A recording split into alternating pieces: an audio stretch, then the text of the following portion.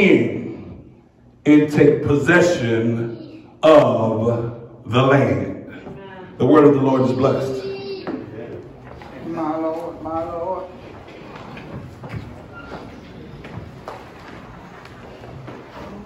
For a few moments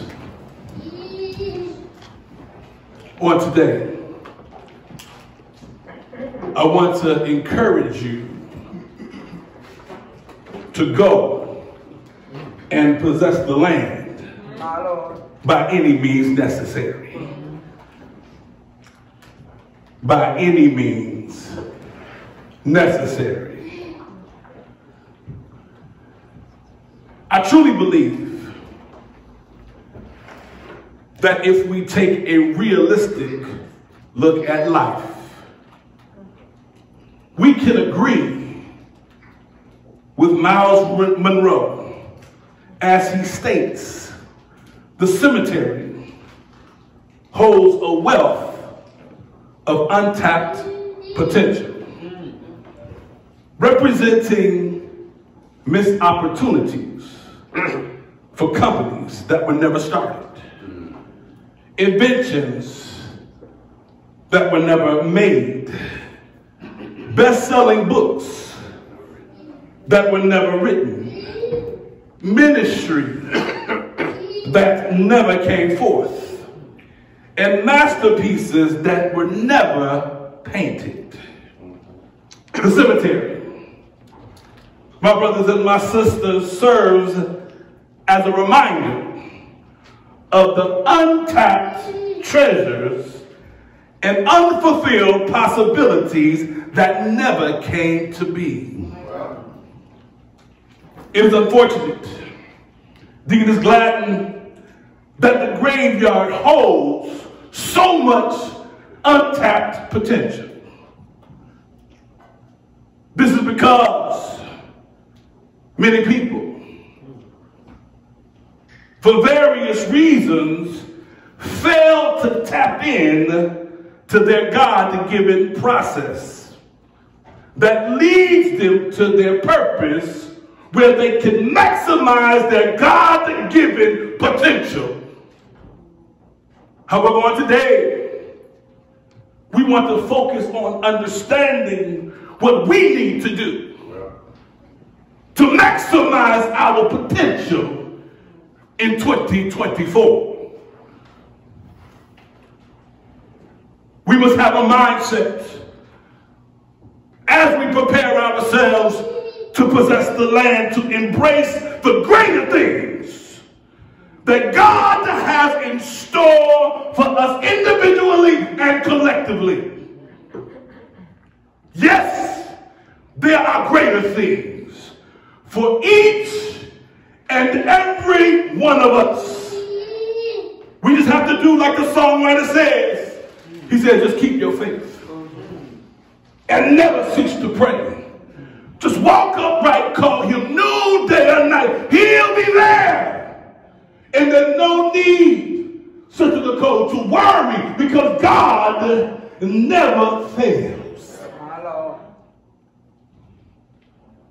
As we begin this pilgrimage out of this first week of 2024, there may be some uncertainty about where this year is going to take us. My brothers and my sisters, it is normal to feel anxious about the unknown, but we should never fear it. However, our mandate as the body of Christ is to rise up from our places of comfort and move according to God's will and God's way. And we must grasp the fact that God has the greater in store for us. But we must find, have, we have to find ourselves immersed in God's will and God's word in 2024. There must be a dedication, Reverend Slater, to being connected and staying committed to God. Yeah. And being connected and staying committed to one another. Because we must understand that the body of Christ should not divide. Your body ain't never divided. So we should not only have a connection to God, but we need to stay committed and stay connected to one another. And as we go forth, and as we move, as we live, and as we love, we begin to develop, cultivate, and demonstrate our faithfulness to Him. But, my brothers and my sisters, we must be willing to submit ourselves to the guidance of the Holy Spirit. And I want us to understand that when we submit ourselves to God, He is going to take us down a path. And many times, that path is not the path that we envision for ourselves. But it is our mandate to move under the guidance of God in righteousness and holiness. And let me throw this in parenthetically. In 2024, holiness is still right. Holiness is still right no matter what comes our way. Holiness is still right no matter what folks say about you. Holiness is still right even in the midst of uncomfortable circumstances. Furthermore, as we seek to move, as we seek to grow and rise up, we must have a mindset to take possession of the promises that God has promised us. And we are to take hold of the promises by our faith. And we should be willing to seize the promises of God by any godly means necessary. If you want greater faith, grasp hold of it by any means necessary. If you want greater in- intimacy with God, grab hold of it by any means necessary. If you want greater influence in ministry that enhances the life of others, grab hold of it by any means necessary. If you want a stronger relationship with God and his people, grab hold of it, my brothers and my sisters, by any means necessary. If you want financial abundance, if you want spiritual growth and development, if you want to overcome anxiety on today, if you want to make a positive impact in this world, grab hold of it by any godly means necessary. See, the songwriter said, I am weak and I need thy strength and thy power to help me over my weakest hour. Let me through the darkness thy face to see. Lead me, oh Lord, lead me, lead me, guide me along the way. For if you lead me, I cannot stray. Lord, let me walk each day with thee. Lead me, oh Lord, lead me. Deuteronomy 31 verse 9 states that this law was written down by Moses. And this verse most likely refers to chapter 1 through 30. We understand that the majority of the book of Deuteronomy consists of messages delivered by Moses to the Israelites on the plains of Moab, marking the end of their 40 year wilderness experience. Deuteronomy, my brothers and my sisters, is the final installment of the biography of Brother Moses. Deuteronomy consists of three sermons and two prophetic poems about the future of Israel. To the book, it reflects on the past failures of Israel. And see, Moses is urging the people not to repeat those mistakes as they enter the promised land. My brothers and my sisters, we've made a lot of mistakes. Yes, yes, Yes, we have. yes. Individually and collectively. Collectively. Mhm. Because all have sinned Yes. and fallen short of God's glory. But if we are going to take possession of the land, Sister Regina, we cannot make the mistakes that we made 10 years ago. Amen. And last year, Amen. We shouldn't be making the same mistakes over and over and over again. It is time for us to embrace the promises of God as we go forth to take possession of the land. But in the text,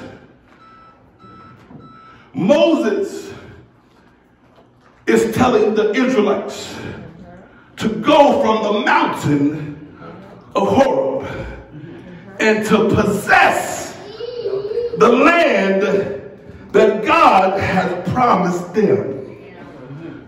Deacon Smith, Yes. the key verbs in our text are go and possess. My Lord, my Lord. My brothers and my sisters, we've all had some type of education. So we understand that go and possess are in the present tense. This indicates, Deacon Woods, that Moses is instructing them to take action in the present moment. Furthermore, it implies that these actions to go and to possess should not only be performed in the present moment, but should also continue to happen consistently. My Lord, my Lord. All right. Sister Sharon, if we're going to go and to possess, we can't just go and possess on Sunday morning.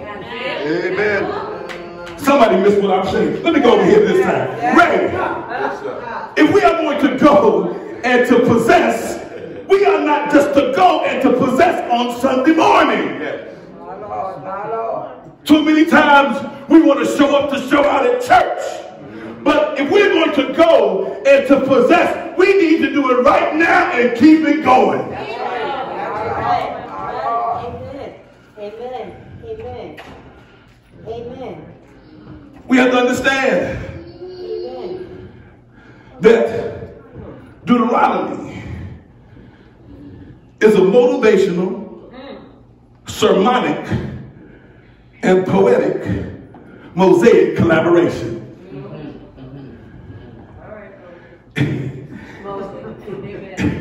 And it is simply urging Israel to be faithful and obedient now and continuously. That's right. Let me go back to Sister Sharon. Lord. Sister Sharon, Trying to keep up. If we're going to go and possess the land, there needs to be some faithfulness and some obedience in our repertoire. Let me go back over here to Ray. Ray, if we're going to go and possess the land, there has to be some faithfulness and some obedience. And your wife said consistency. Yes. Amen. Amen. So we got to do more than just show up at home. All right. Amen. Amen. Let me go back 12 years. I was having a t- talk with Montez Johnson. We call him Minister Johnson. He said the problem is some folks just want to come to hope. They don't want to go to heaven. So the question is, do we want to come to hope I mean, you know, yeah. or is our main goal to get to heaven? If our main goal is to get to heaven, there has to be some faithfulness. There has to be some obedience, and there has to be some consistency.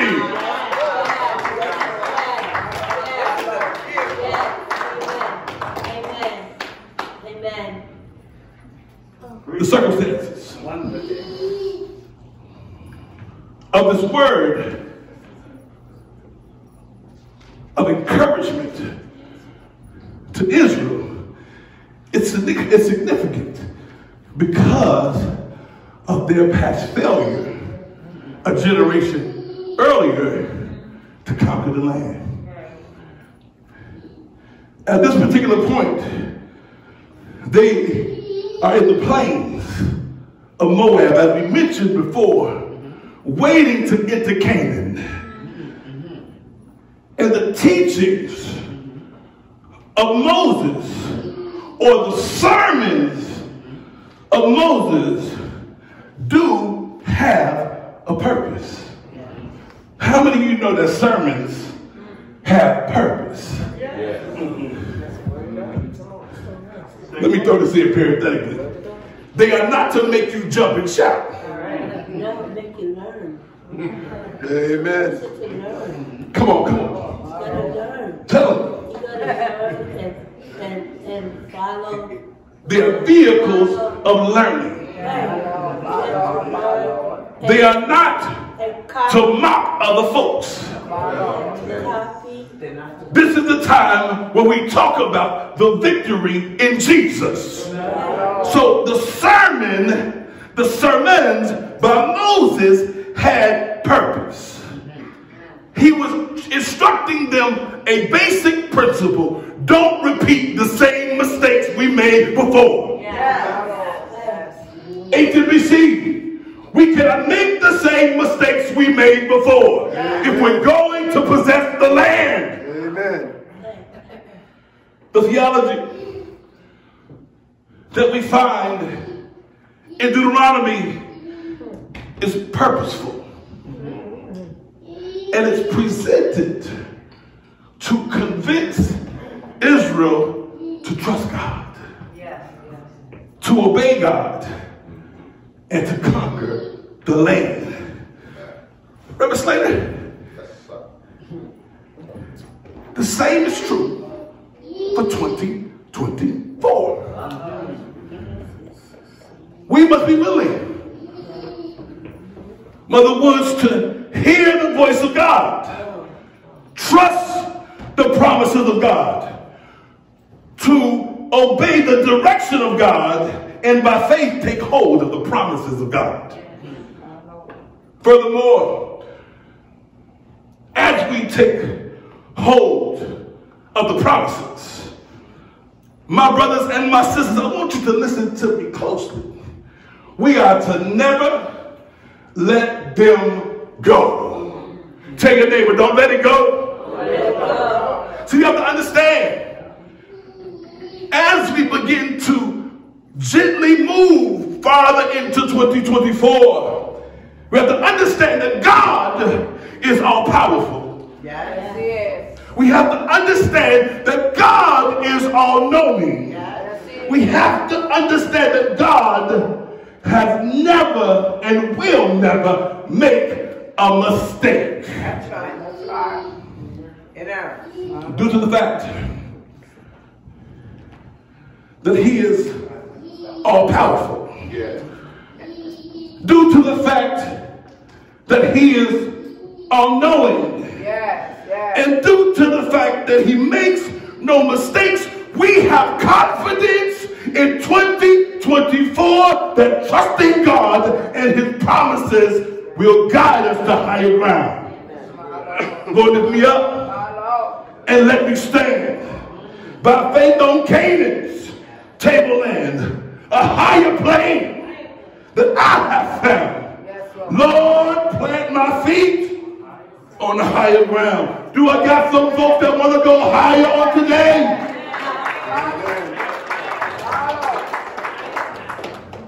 I encourage you on today to simply trust God Trust Him. and to hold on Yes. Yes. to his promises.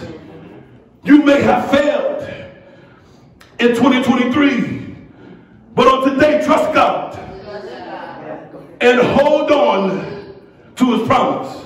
Yes, Lord. Yes, Lord. You may not have been the most desired one in 2023, but trust God on today and hold on to his promise. You may have been misrepresented. You may have been dismissed by some friends. You have may, you may have been talked about. 2023 may have been problematic, but I come by here to let you know that we all had issues in 2023. But our mandate is to continue to trust God and to hold on to his promises. We have confidence in knowing that when God promises something, he is faithful to fulfill it. The book of Deuteronomy. Mother Williams, it reminds us of the faithfulness of God. And it encourages us to trust in his promises. Just like Moses instructed the Israelites to go and possess the land. We too, in 2024, are called to step out on faith and take hold of the promises God has for us. So with it all understood,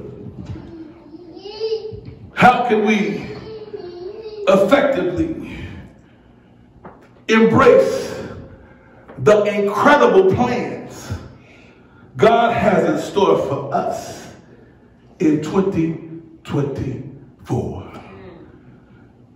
Number one,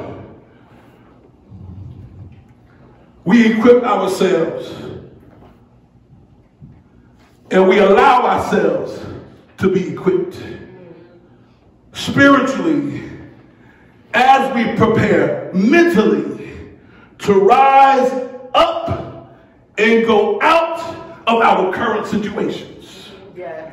and move towards the destination God has preordained for us. My brothers and my sisters, this involves developing an attentive ear to hear God's voice, cultivating a receptive heart to receive his guidance, and demonstrating a resolute will to obey his commands. Point number two, as we rise and move out of our current situations towards the destination God has preordained for us, listen to me closely. It is imperative that as we rise And as we move, we do so under the direction of the Holy Spirit and in the holiness and righteousness of God. this involves following God's directions as He orders our steps Yes, yes, yes. and as He guides us to the place He has appointed for us to be. Yes, Lord. Yes, Lord. As we rise and as we move, it is our mandate to engage in evangelism. We can't keep them to ourselves. We must engage in evangelism and we are to minister to one another in the spirit of love, with encouragement, and in unity. Number three, as we go into this season of great expectations, we take hold and we intentionally take possession of the promises of God by faith. This involves embracing every promise. Yes. Every promise that he has spoken to you and over you. So HMBC and everyone under the sound of my voice, I encourage you to have an any means necessary kind of faith. Our any means necessary kind of faith is rooted in trusting God, in having faith in the promises of God. Understand on today, there will be situations that are beyond our control. Yes, yes. yes. Stay true to the promise by any means necessary. Yes. There will be those that don't understand the anointing on our lives. But HMBC, protect your oil. Stay true to the promise by any means necessary. There will be those who try to limit our progression. Stay true to the promise by any means necessary. Yes. We will be lied on. We will be talked about. We will experience temporary frustration, mm-hmm. but stay true to the promise mm-hmm. by any means necessary. I want to let you know there will be obstacles along the way. We won't always be called on, and we won't always be appreciated. But we must rise above adversity Yes. and negativity.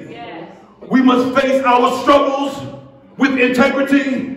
Yes. Remember, frustration, my brothers and my sisters, is a temporary emotion. Simply lean on your faith. Stay true to the promise by any means necessary. See, the songwriter says, it may not be on the mountaintop or over the stormy sea. It may not be at the battle's front. My Lord will have need of me. But if my Savior calls me to path I do not know, I'll answer, dear Lord, with my head lifted up. I'll go where you want me to go. We may get uncomfortable. We're going to go where he wants us to go. We will experience opposition. We will go where he wants us to go. There will be, we will encounter problems and situations. We are going to go where he wants us to go. Our bodies, they may get tired. We may get aggravated and stagnated. We are going to go where he wants us to go. We will experience loneliness and isolation. We will question our abilities and we may question the call. We will encounter unexpected roadblocks. We're going to go where he wants us to go. Living for Jesus, a life that is true. Striving to please him in all that we do. Yielding allegiance, glad-hearted and free. This is the pathway of blessing for you and for me. In 2024, we are going to live for Jesus. This is the pathway of blessings for HMBC. In 2024, we are going to serve in excellence. This is the pathway of blessing for HMBC. In 2024, we're going to live right. We're going to love right. We're going to walk right. This is the pathway a blessing for HMBC. In 2024, we are going to progress in the holiness of God. This is the pathway to blessings for HMBC. As we embrace the promise, Amen. we are protected by his love. As we embrace the promise, Amen. we are renewed by his mercy. As we embrace God's promise, we have hope in his forgiveness. As we embrace God's promise, we are refreshed Yes. in his faithfulness. We are restored through his sacrifice. We are strengthened by his power. We find healing in his presence. We receive comfort through his peace. We experience joy in his grace. We discover our purpose in his plan. We gain strength in his promise.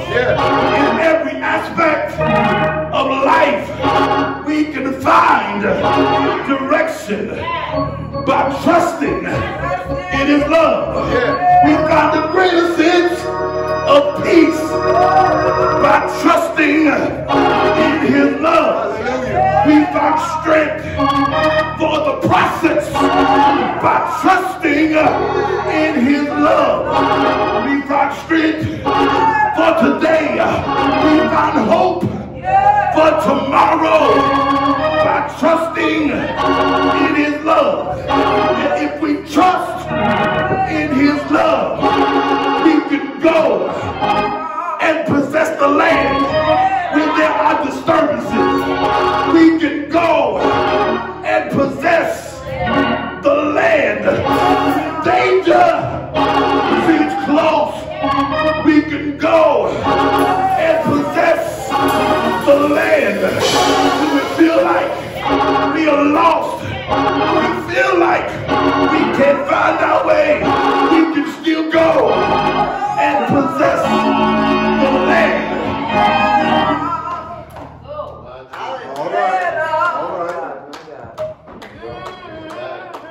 is our mandate Yes.